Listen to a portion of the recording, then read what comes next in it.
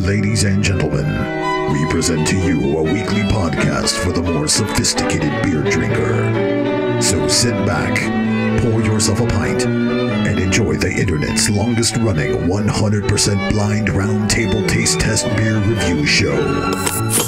You're listening to The Beer Snobs.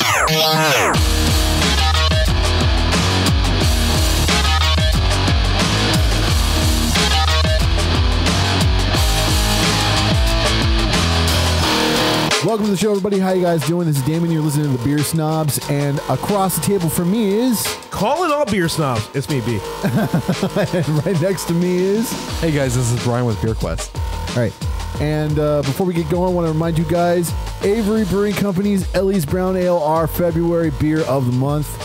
Great, solid brown. Yeah, highly Good- drinkable. Good brown. Really Yes, good brown. Very yes. drinkable, easy to do, and it's available everywhere.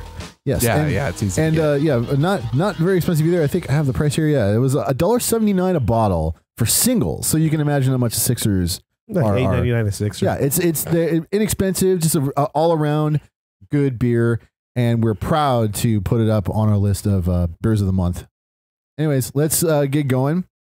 Uh, this week we're starting off with our segment Growler reviews with Hardyman. hey guys, uh, so this week uh, I stopped by my friends at uh, Hamilton Family Brewery. And Hi, uh, Josh. that's right. Yeah, Josh and Kristen. What, what's up, guys? Shout out to you. Um, so uh, they they make some awesome beers, and they're local, so it makes it easy for me to swing in like on the way to a show. So this beer is super super fresh. This is uh, a build on the two x four IPA series. So two x four is their double IPA. So this is called. this is called the four x four, So this is- this is the Hamilton Brewery four x four IPA, and it's a triple IPA. triple so IPA. yeah, this one comes in I think uh, ten percent alcohol. So it, it is really really good. Uh, he was telling me that they throw in a bunch of uh, white wheat malt, crystal malt, and uh, actually it's crystal forty and crystal one twenty, and then a ton of two row, which allows them to make really light bodied ales. Well, right now I'm smelling. All I'm smelling is IPA. I'm smelling that piney pine. But but here it is. I, I, sw- I'm with you. I smelt it. Got knocked knocked backwards. Taste it. okay, okay. It okay. is I'm- smooth. and this is this is super fresh, fresh, fresh, fresh, as fresh this as is it's gonna the super smoothest fresh. triple IPA I ever had. Easily. Oh my That's god! good. See, smoothest triple IPA you ever had. Oh Dude, it's got a my nice God. That is velvet beautiful. mouthfeel. Oh, Beautiful. perfect. No, That's it's, it's perfect. no, yeah, smooth mouth feel and and a flavor that that just caresses you, yeah. just like just like a gentle gentle massage with a happy ending. Yeah, I feel like you could put some like smooth jazz on right now, and I would just like melt in your arms. Wait, what? No. Oh, what? Huh? what? Oh, yeah. Back to the beer. Okay. So anyway, yeah, they threw in some uh, Chinook and uh, Summit hops, and uh, I believe that that's it for the hops. Amarillo and Cascade. Oh my god! This uh, is just, yeah, I, the Summit. this is just this is so. I mean, for an IPA, I mean, this is really smooth. Yeah, this Really is really triple good. IPA. For a, Yeah, I mean, triple IPA. For an IPA, this Well, is smooth. For a know, double IPA, this would be smooth. For a triple IPA, this is unbelievably smooth. Well, I'm gonna say that this beer has range because it it's got a really nice velvety mouthfeel texture, but you get a little bit of citrus, you get a little bit of piney, you get a, a lot of the no, and the hops, and- the hops are there. yeah, The strong no, hop flavor. Yeah, and it's like it, it just kind of peaks in for a second, but the blend itself. This this is a beautiful. Um, I ran into but- the brewery tonight before the show to get this. They had a food truck down there with a line of people just waiting for food, It's- beer. you know, it's a good place. To Here's hang the out. thing about Hamilton. It's like one of my favorite places to go to drink beer. Mhm. Because first area, off, yeah. Josh remembers who the hell you are, and they will always let you know, "Hey, this is what we got. That's really good. Enjoy this." And everybody who comes in there always interested in the beer and always thinking about drinking. You can play a little game or something.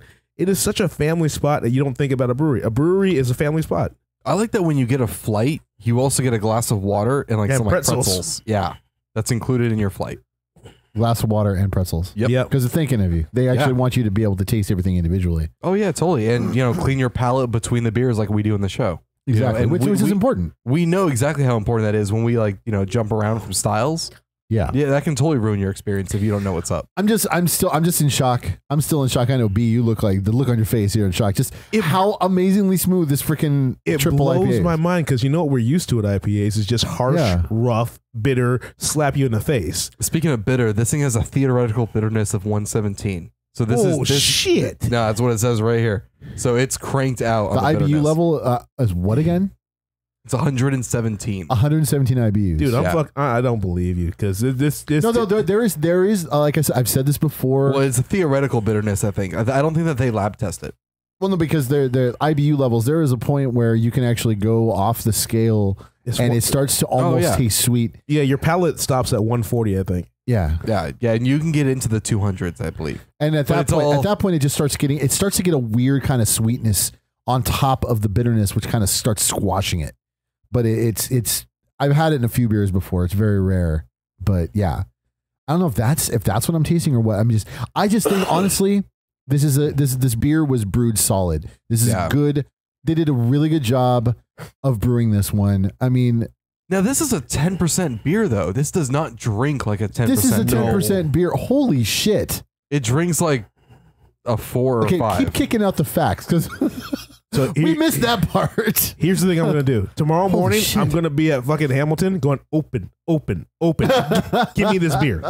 Open, open, open. the Hamilton Super Sale. That's right.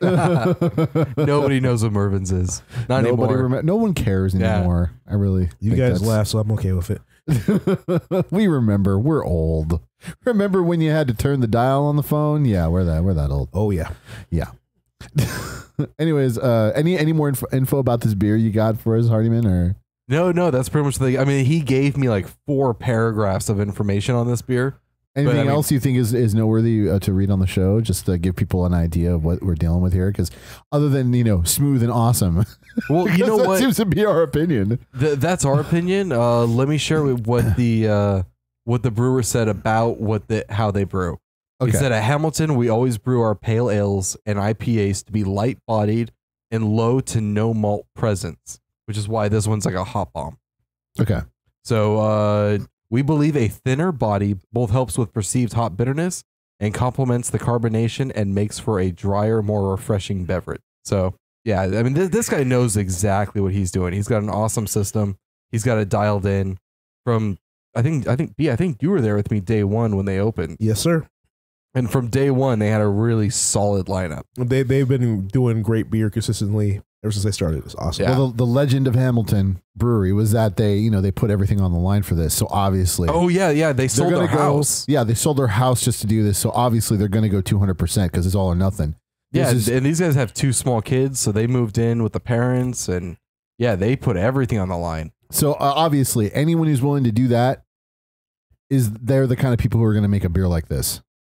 Uh, obviously, and this Yeah. is a beautiful, beautiful triple IPA. And again, the name Hamilton Breweries four x four triple IPA. That's a good one. Wow. And uh, I th- I think that's all we can say. I think that's I think that's only all the constructiveness we can give to this, just because it's so amazing. There's a point where we just start repeating ourselves, so we should probably move on. Yeah, to But, like uh, Josh, if you're listening, thanks, buddy. This is Thank you great. to Josh. This is great. Thank you, Uh, Josh. thanks- I'll see you tomorrow. and, and that is it for growl reviews. I think we should get to our blind review of the show, and here it is. And wow, this is dark, That- man. That's a dark beer. this is dark. I love it when the when the head goes from white to brown. That's how you know you got a good dark beer. Yeah, that is that is a sign that is there is some beauty going on. A brown head. Oh, it smells really good. smells aged. I don't know if it smells aged. It smells a little aged. no, but I I get some like uh, High alcohol some- content, at least. I get some sweet uh, flavors off there. A little bit of chocolate. Um, I'm just drowning. I'm drowning in the scent. yeah, Uh, a little bit of fruity. You guys get the fruitiness in this in the aroma. A little I bit. got a little bit of fruity, but just taste it. Just just taste it. This is this is nice. I could I could seriously I could just make like an oxygen mask to pipe the smell in, and I'd be happy all day. The- uh, this one drinks really well. It's got a really smooth body to it. Uh, not creamy, but uh, Oh like man, almost like low carbonation, but it's still you know it, it's good. no, that is. Oh my god! It's just we're getting lucky with these smooth beers. This is so smooth. this was as smooth as the four x four. You guys get a little bit of coffee at all? I got coffee. A little bit, yeah, Yeah. yeah, a little bit. This I- is this is Lando Calrissian smooth. Got got a little Yeah. bit. This wait, is this is cool side of the pillow smooth. did you guys get a little bit maple? I don't know if I it's taste it. maple. Oh, well, let me taste it again. that uh that floral That, that aroma. sweet is what I'm catching. That yeah, I'm getting that on the back end. I, I- yeah, yeah, yeah. just a little bit. Yeah, I can't I can't pick up that sweet. I think I think it's maple. I don't know. It goes from sweet back into roasted. Yeah. So I mean, it, this is a. I hate to say this. I hate to use this word, but this is a kind of a complex beer. It's Um, it's I know I, I It's mean all over the it's place. it's no I think it, again I, I was saying there's two kinds of of well blended beers. I've said this before. I'll probably say this a million times more, but the kind where everything kind of blends together into its own flavor, its own collective flavor, and then there's the other kind where each flavor kind of wafts through. As you can taste them individually, but they kind of move back and forth as it goes through your palate. This is the second kind. This is the kind where you can have these individual tastes, but they still work well together. This, oh, this is really good. That's exactly why I say it's complex because Yeah. of that. Yeah. Yeah. You know, here here's my opinion of this. I just want to caress the glass. I love you, baby. That- that's all. this- I'm, I'm right there sitting here. You guys talking. I'm just I'm caressing the glass, and I'm like, that that's a sign. That that's a tell for me. Like I want to sit here and just make sure No, she make sure she's treated well. Make That sure popped she in knows my head. I'm a hustler, babe. that. Make make sure she and I want you to know. And where you been? Is where, you're about to go.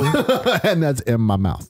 oh my no no but but this beer to me is like I, I it feels delicate but you know it isn't oh God, it's yeah. like it's like a good girl gone bad ah, yeah. it's, it's, it's, a, it's a it's a woman in the street and a freak in the sheets that's exactly what lady, it is Lady in the streets, freak in the sheets. that's yeah. exactly Yeah. it- it- it- you want to caress it make sure she knows when you're out there we're good and then you want to drink it it's like yeah give me more All right. give me give me all okay, that like we really needed to at this point, but let's let's do the recommendations. B.